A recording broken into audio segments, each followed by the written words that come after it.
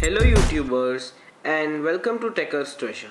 In this video we'll be flashing the FIUI ROM for the Samsung Galaxy S Duos 2 so without wasting any time let's get started.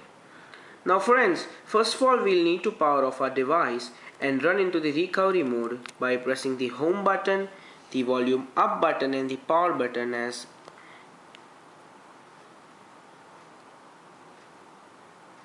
okay so here you will see a red mark which means we'll be soon into the recovery mode.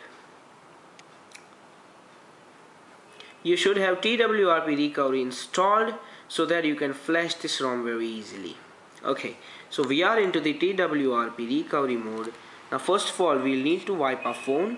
So just click on advanced wipe and we'll select the first five options there. Now friends, it is recommended that you backup all your data first to prevent any data loss further. It will take a couple of seconds.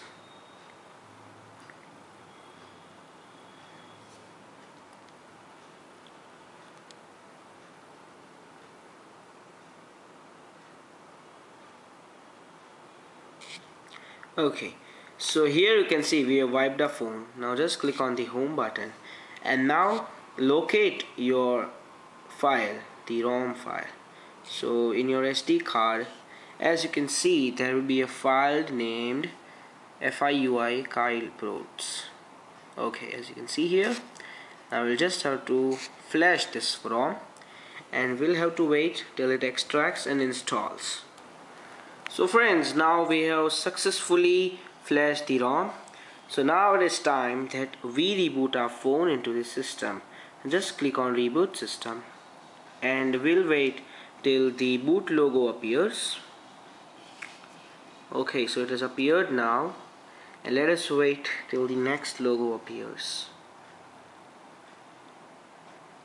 Okay so here we see we have the FIUI ROM successfully installed. But wait. Uh, first of all the first boot will take up to 5 minutes. That means you need not panic. That why your phone isn't starting yeah? So we'll wait uh, till the phone starts. So friends as you can see here we have successfully into the our new ROM FIUI ROM. So we'll the welcome message.